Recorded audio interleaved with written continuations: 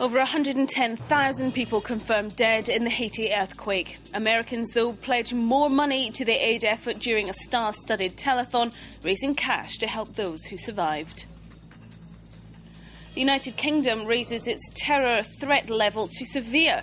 The decision comes ahead of two international conferences in London on the security situations in Yemen and Afghanistan. And a new legal battle over Polanski's extradition to the United States. The film director is accused of having sex with a 13 year old back in the 1970s. But the judge in Los Angeles refuses to sentence him in absentia. Hello, this is France 24, the international news. More than 110,000 people have been confirmed dead in the Haiti earthquake, making it the deadliest quake on record in the Americas. But the death toll could get much higher, with Haitian officials fearing it could surpass 200,000. Millions of people have been made homeless by the disaster. More than 600,000 people are currently living in temporary camps. Well, a little earlier, I spoke to our correspondent Nathan King, who is in Port au Prince. I asked him if people were beginning to get out of the capital.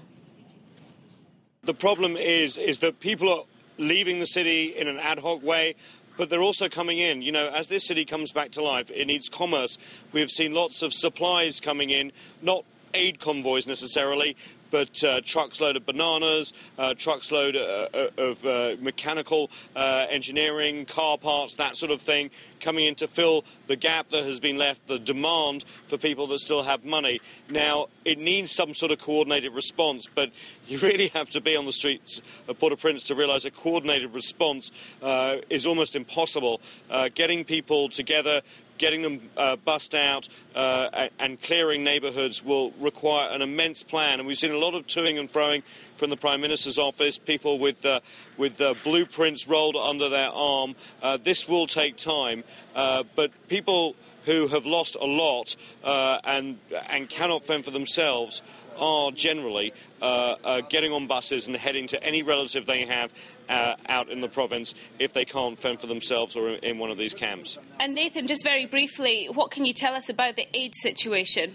You know, it's patchy. Some corners you will see water tanks and UN vehicles, and it all looks very efficient. And then other times, just on the street, people will come up and say, "Where is the aid? Uh, where's it coming from?" Uh, we're out of money, a money wiring service today, and people are desperate to get money from relatives abroad because they haven't had uh, any aid. They say that's the sort of thing uh, that they can count on, money from relatives. They can't necessarily count on the agencies. We also heard reports, though I can't substantiate it, but I've heard from many people uh, that some of the aid is being resold uh, on the streets. Uh, what we do see is that there are not a lot of aid agency presence on the streets at the moment. Celebrities are using their star power to fundraise for Haitian relief efforts in the Hope for Haiti telethon, which hopes to raise millions in aid.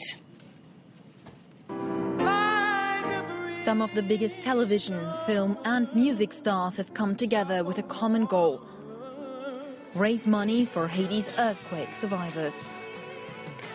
The Haitian people need our help. They need to know that they're not alone. They need to know that we still care.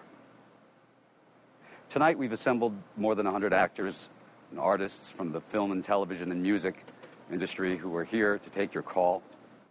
George Clooney hosted the event from Los Angeles, but stars also took to the stage in New York and London. Others were simply happy to answer phones and take donations. Well, listen, thank you so much, Reverend, for what you've done. Well, thank you for answering calls and making people's days in this way. Okay. Take well, care. Have a good weekend. All of the donations will go towards the relief efforts in Haiti. Organizations include UNICEF, the Red Cross, but also the Clinton Bush Haiti Fund. Before the earthquake, I really believe Haiti finally had the chance to build a stronger, more secure, more modern nation worthy of its people. What I want you to know tonight is that despite this tragedy, I still believe they have that chance. All four major U.S. networks, as well as many websites, broadcast the event live.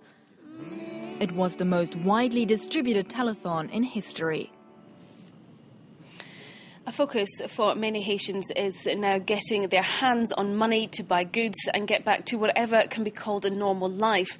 As a few banks in the capital Port-au-Prince now open their doors, locals queue for the only aid they say they can count on. That's money from friends and relatives abroad. It's not food, it's not water, it's money that's the rarest commodity here. Even before the earthquake, Haitians depended on cash sent from family abroad. Now, even more so. Here, they start lining up at 5 in the morning to collect their money. Not everyone will get in today. Some have been coming for three days. But they need their money now. Tomorrow's line may be even longer. Anderson Langlois was among the first to arrive today He's an English teacher whose school lies in ruins. Now jobless, he depends on his brother's check from Connecticut. No money, no money at all. No. My house is smashed. Can't get in to get anything out. Can't retrieve nothing. No. And it's a tragedy here for majority of people. The house is smashed. Without help from other people, they can't live. He's number 94 and won't get in today. But rather than chasing aid around this city, a check from family is something you can count on. He'll be back tomorrow. Organizations that's supposed to have here, you can't get through, you can't, you don't know who they are. Things that are given free is being sold. Today, there are a lucky few. But even once the aid effort is over, Haitians will need this lifeline for months and years to come. Britain has raised the country's threat level from substantial to severe. It's the fourth highest level on a scale of 1 to 5, but it's been stressed that the decision has not been taken in reaction to any new threat going in and out of the UK just got more difficult. The terror level was raised to severe on Friday, meaning tighter overall security, but especially in airports. The Joint Terrorism Analysis Center made the decision.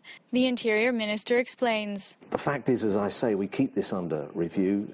Moving to this different threat level says, yes, we have to be more alert, and it means that an attack has now moved to the level of being likely it, we have absolutely no intelligence to suggest that it's imminent. Johnson, however, refused to answer whether this raised level is in any way linked to the failed Christmas bomb in Detroit. This intensified security comes five days before an international meeting on Yemen and its links to Al Qaeda. The Middle Eastern country is increasingly becoming a launch pad for global attacks, like the recent failed U.S. bomber. But in Britain, this heightened alert is less the exception than the rule. Over the past two and a half years, two were spent with a severe threat warning. So, whether abroad or at home, readiness is the rule. A Los Angeles judge has refused to sentence Roman Polanski in absentia. The famous film director is accused of having sex with a 13 year old girl in the 1970s and has been under house arrest in Switzerland for over a month.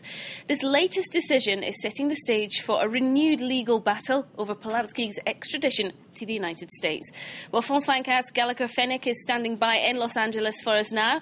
How involved is the victim in this case, Gallagher? Well, you know, first of all, the decision by the LA judge who declined to uh, Judge Polanski in absentia really came as uh, no surprise. The uh, district attorney has really been pushing hard for Polanski to be brought back to the States uh, for sentencing. What was new, however, as you mentioned, was uh, Samantha Geimer's legal involvement at this point uh, in the case. And uh, this uh, Friday, she uh, literally legally attacked the Los Angeles district attorney and yet another one of her attempts to have this case dropped. She basically, through her lawyer in Los Angeles, was claiming that she was never consulted concerning the extradition procedure, which constitutes a violation of her rights as a victim under California law.